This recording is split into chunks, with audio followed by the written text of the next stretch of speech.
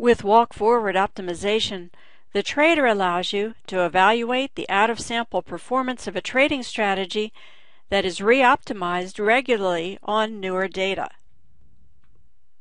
In this daily model for Deere, we've loaded data back to 2006. We're testing a system that goes long when the RSI indicator is less than 30 and sells short when RSI is greater than 70. The optimization is set to find the best parameters for the rules. On the Dates tab, we've set the model to optimize on one year of data and test out of sample on six months of trading data. On the Advanced tab, we've chosen six walk forwards and we've checked the box to carry forward our account balance from one walk forward to the next, as you would if you were actually trading this model. Let's see how this model worked.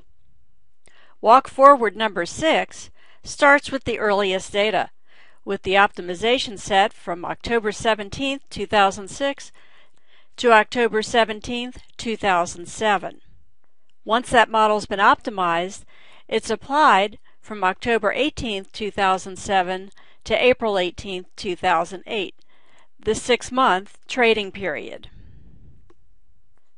Walk forward number 5 is shifted six months ahead from October 18, 2007 until October 18, 2008. Then walk forward number 5 is applied to six months into the future from April 21, 2008 to October 20, 2008.